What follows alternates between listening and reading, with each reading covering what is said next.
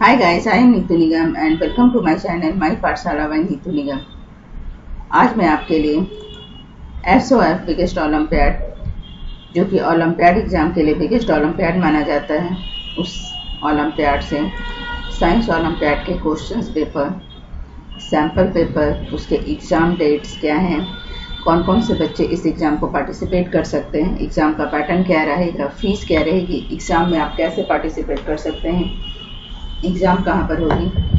कितने घंटे की एग्ज़ाम होगी? एग्ज़ाम का मीडियम क्या रहेगा? ये सभी चीज़ें हम इस वीडियो में देखेंगे। तो चलिए, स्टार्ट करते हैं।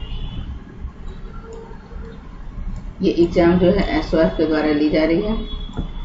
एलिजिबिलिटी क्लास फ़र्स्ट होते हैं, तक के कोई भी बच्चे इस एग्ज़ाम में बैठ सकते हैं। ये नेशनल साइंस ओलम्पियाड है, और एग्ज़ाम जो है, आप स्कूल के द्वारा ही दे सकते हैं। इंडिविजुअल डायरेक्ट आप एग्ज़ाम नहीं दे सकते हैं। एग्ज़ाम के तीन डेट हैं 18 अक्टूबर 12 नवंबर और 3 दिसंबर। इनमें से कोई भी एक डेट स्कूल द्वारा चूज़ की जाती है और आपके स्कूल ने जिस भी एग्ज़ाम को एग्ज़ाम डेट को चूज़ किया है, उसी डेट पर आपको एग्ज़ाम देनी होती है। एग्ज़ाम मोड ऑफलाइन रहेगा और एग्ज़ाम आप स्कूल से दे सकते हैं। एग्ज़ाम की registration fees rupees one hundred twenty five रहेगी। यह एग्ज़ाम साल में एक बार होती है। एंड लैंग्वेज इसका जो है इंग्लिश में रहेगा और ड्यूरेशन वन आवर्स का रहता है। अब इसके हम सिलेबस और सैंपल पेपर्स को देखेंगे। तो चलिए सिलेबस और सैंपल पेपर देखते हैं। 2024-25 के लिए सैंपल पेपर्स है। सबसे पहले हम सिलेबस देखेंगे। क्वेश्चन पेपर को तीन भागों में बांटा गया है। Logical reasoning science and achiever section science olympiad के एग्ज़ाम में भी सबसे पहले लॉजिकल रीजनिंग से रिलेटेड फाइव क्वेश्चंस रहते हैं, जो पर क्वेश्चंस के मार्क्स वन रहते हैं. और साइंस से 25 क्वेश्चन रहते हैं पर क्वेश्चन वन मार्क्स और अचीवर सेक्शन से फाइव क्वेश्चंस रहते हैं, जिसमें पर क्वेश्चन टू मार्क्स रहते हैं.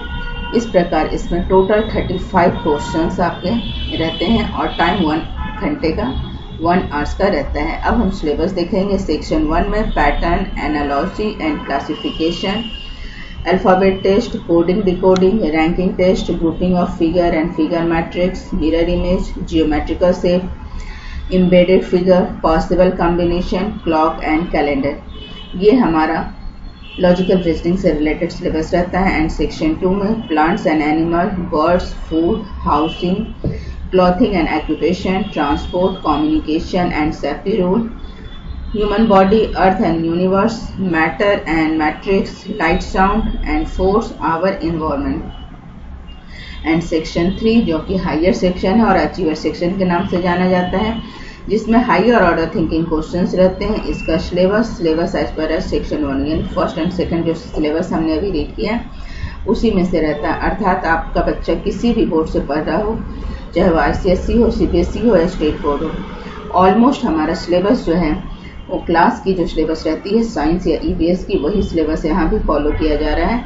बस एग्ज़ाम में क्वेश्चन पूछने का पैटर्न थोड़ा सा डिफरेंट रहता है और हाइयर ऑर्डर थिंकिंग में क्वेश्चन को थोड़ा सा डीपली पूछा जाता और घुमाकर पूछा जाता। डायरेक्ट टू डायरेक्ट क्वेश्चन उसमें नहीं रहते हैं। तो चलिए सेक्शन वन में देख लेते हैं लॉजिकल रीजनिंग में किस तरह के क्वेश्चन है। पहला क्वेश्चन है, Which of the following clocks showing the time 2 hours 20 minutes after 9:40 am अर्थात नौ बजकर चालीस मिनट अभी हो रही है। उसके दो घंटे दो घंटे बीस मिनट के बाद क्या टाइम होगा और वो कौन सी घड़ी शो कर रही है? चलिए देखिए, इसको आप इस प्रकार मिला सकते हैं। नाइन फोर्टी और यहाँ पर हम लिख देते हैं टू ट्वेंटी तो ये हो गया आपका नाइन और टू एलेवन हो गया और ये फोर्टी प्लस ट्वेंटी सिक्सटी यानी सिक्सटी मिनट मतलब एक घंटा, यानी ट्वेल्व और वन कितना हो गया? बारह, यानी बारह बजना चाहिए। तो चलिए इसमें हम देख लेते हैं कौन से क्लॉक में बारह बज रहा है। ट्वेल्व ओ क्लॉक किस क्लॉक में बताया जा रहा है? तो option D the correct answer option D में ट्वेल्व ओ क्लॉक शो हो रहा है।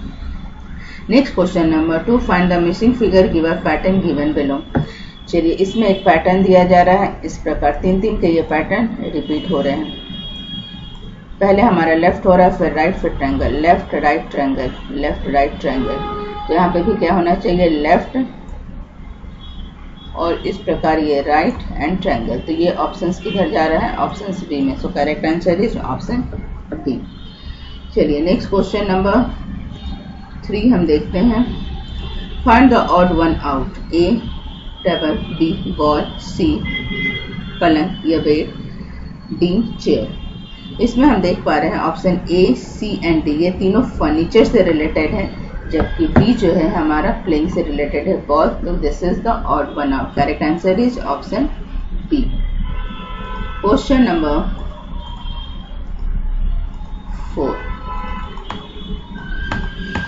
question number four में अब साइंस से रिलेटेड क्वेश्चंस पूछे जाएँगे। What can be reason that the taxi driver has to be more careful when driving on a rainy day than driving on the hot summer day?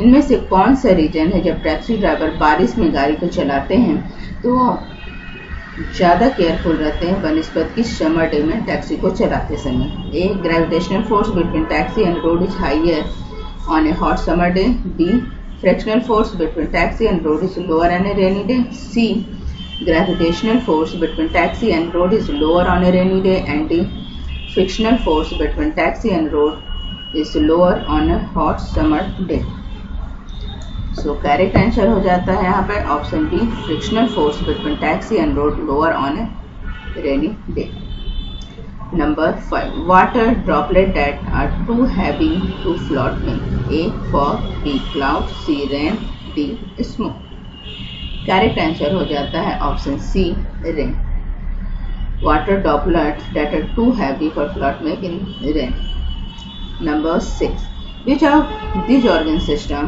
give shape and support to our body and protect the important organs of the body such as lungs, brain, heart, etc.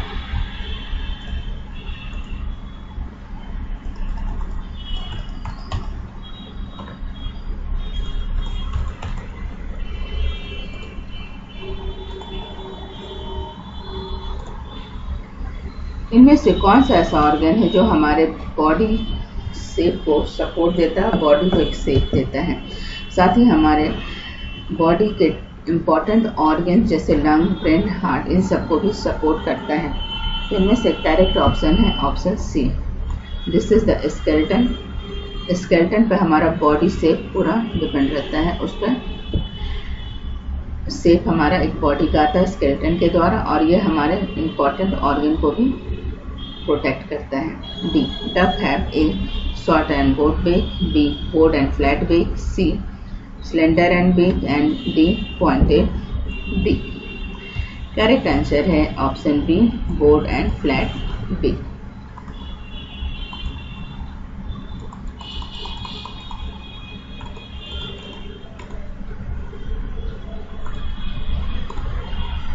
number eight look at the classification table below table soon P and Q are correctly represented by ये fruits edible and inedible. इसमें से हमें बताना है कौन edible कौन edible तो यहाँ पर आंसर हो जाता है एट का शी प्लम एंड कॉटन यहाँ पे क्या है फ्रूट्स हमारा जो है एडेबल है, प्लम को हम खा सकते हैं और इन एडेबल जो है कॉटन है। So correct answer is option C next question number हमारा अचीवर सेक्शन से हो जाता है। तो हम देखेंगे कि अचीवर सेक्शन से किस प्रकार के क्वेश्चंस आते हैं।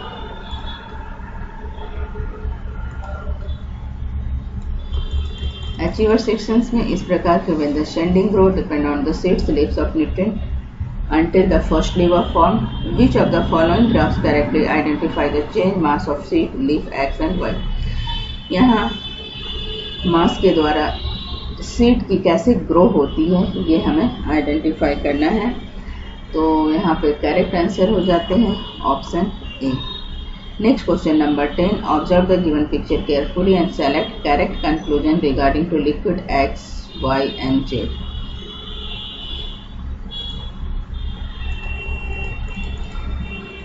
यहाँ पर ये तीन इमेज दिए गए हैं। इसके आधार पर हमें बताना है कि regarding liquid X Y Z कौन सा सही liquid X is transparent and liquid Z is translucent B liquid Y the opaque and liquid Z is translucent C liquid X is transparent and liquid Z is opaque and D liquid Y and transparent and liquid Z is opaque so correct answer है option C Liquid X is transparent.